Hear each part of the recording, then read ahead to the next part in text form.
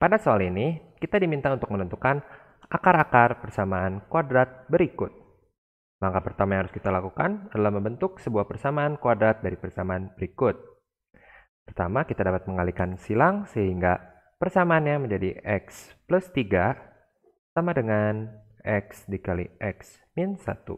Lalu kita dapat mengalihkan nilai x menjadi x plus 3 sama dengan x kuadrat min x.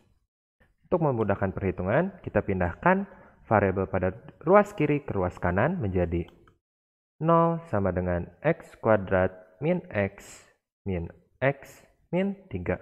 Kita peroleh 0 sama dengan x kuadrat min 2x min 3. Langkah selanjutnya adalah memfaktorkan persamaan tersebut menjadi x min 3 dikali x plus 1. Maka kita peroleh nilai X1 sama dengan 3 dan nilai X2 sama dengan min 1. Sampai jumpa di pertanyaan berikutnya.